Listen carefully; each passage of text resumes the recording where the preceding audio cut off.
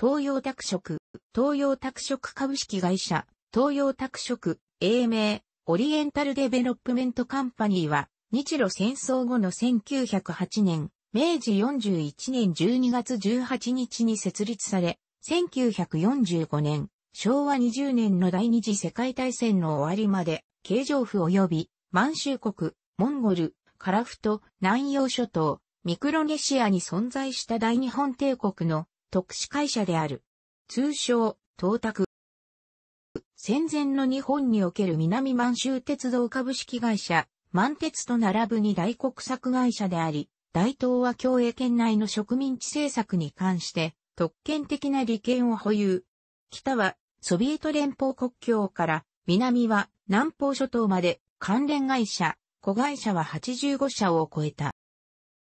東洋拓殖は1908年、明治41年12月18日制定の東洋拓殖株式会社法、東拓法を根拠法とし、日本統治時代の朝鮮における日本農民の植民事業を推進することを目的として設立された。設立時の資本金は20万株で1000万円であった。韓国政府現物、土地出資分6万株及び役員持ち株1000株を除く13万9000株が同年11月公募され、対象とされた日朝両民族による応募額は35倍を超える466万5000株に達した。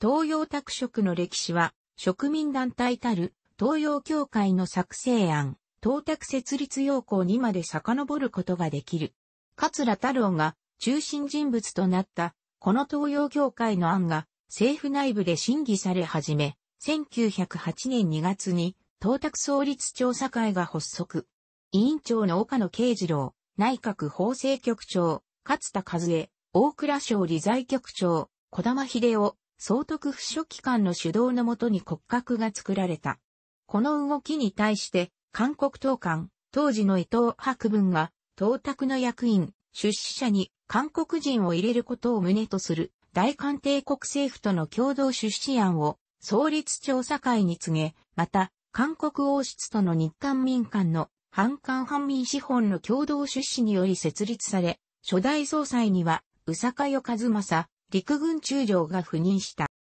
設立委員会には、豊川良平、三菱合資会社銀行部総裁、中野竹中、関西銀行総裁、ハンソウ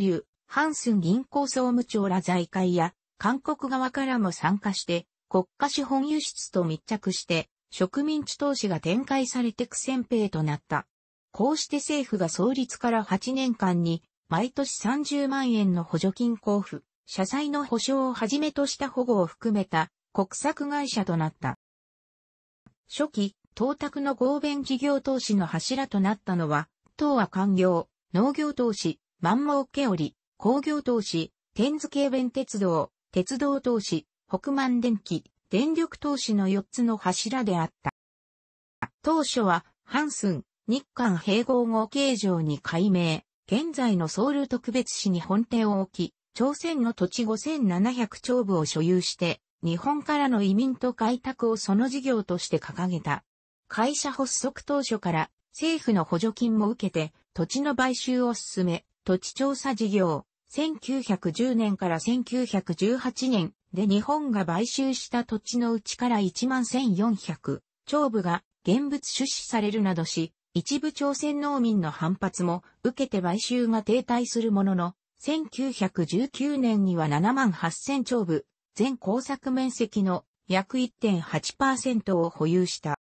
東洋拓殖の日本人移民事業は挫折したが、買収した土地で朝鮮人の小作を雇い、地主献金輸業を中心業務とするようになった。そのため、日本の敗戦に至るまで朝鮮における最大の地主となり、1937年には小作人78,667人を要した。また、皇室が同社の株を所有していたことも含め、第一次世界大戦期以降は、朝鮮企業52社の株式を保有し、名実とも日本の朝鮮経営の中心となった。また、移民事業では、日韓併合後の明治43年、1910年、には14万人を数え、その後日本からの移民が大正6年、1917年には33万人に達した。ついで、寺内正武の千万一体化、いわゆる北進論の掛け声とともに、朝鮮人の満州入植を図ったが、住民の抵抗を受け行き詰まり、経営破綻を経て、フランス、米国向けの社債発行も伴って、ブラジル、南洋群島への日本人移民に投資した。大正6年、1917年に、東卓法が改正され、本店が東京に移されるとともに、満州、モンゴル、河北、南洋諸島にまで、その営業範囲を広げた。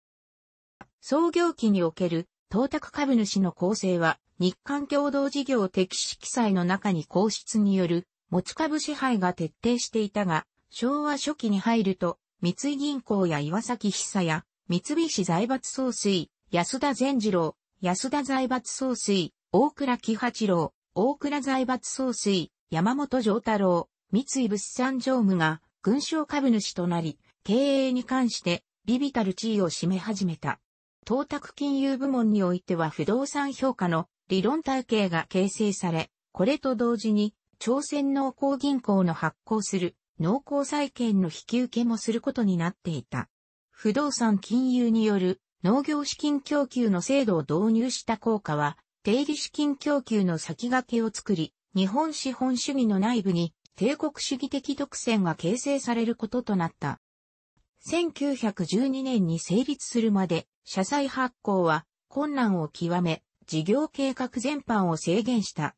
1913年3月、日仏銀行、仏、ボンクフランコジャポナイセ、パリは、日本工業銀行、インドシナ銀行が、創設が1935万円引き受けた。南洋共発発足から募集が積極性を増した。1923年3月、ナショナルシティ銀行が3991.9万円を引き受けた。1928年11月、またナショナルシティ銀行が再び同額を引き受けた。こうした資金と横浜賞金銀行を後ろ盾に、満州国へ、関東都督府、関東町、朝鮮総督府、南満州鉄道と一体になって進出。ハルビン、大連、法天等の植民都市建設計画を構想し、また、日本軍管理下にあった中東鉄道を乗り換えて、日本軍占領下のシベリア半島を視察。シベリア鉄平とソビエト連邦の成立によって、東卓は営業に乗り出す。以後、営業区域を関東州、満州、中国東北部、蒙古、河北、南洋諸島に拡大し、さらにマライ半島の開発にも乗り出した。1938年、昭和13年には、朝鮮電力、東卓工業、朝鮮鉄道、東洋畜産等の約52社の株式を保有。さらに、台湾拓殖と南洋拓殖を吸収合併させ、資本金5億円で新たに国策会社の南方拓殖株式会社を創立した。満州事変以後の昭和恐慌による円安により打撃を受けた。太平洋戦争、大東亜戦争が始まると、政府の南進論政策に伴い、南洋投資に傾斜。大日本帝国海軍、南洋庁といった政府機関を後ろ盾に南洋軍島開発計画に寄与していく。1943年時点で、バンジャルマシン、ライン拓殖会社とジョホール、英領マラヤのゴムプランテーションを直営していた。第二次世界大戦敗戦後の昭和20年、1945年に GHQ より即日閉鎖を命じられた。旧東宅所有の不動産等は昭和22年、1947年在朝鮮、アメリカ陸軍司令部軍政庁によって設置されたの管理下にされ、その後1948年3月22日に中央土地行政所へ改祖の上で農地改革を迎えることとなる。楽しくご覧になりましたら、購読と良いです。クリックしてください。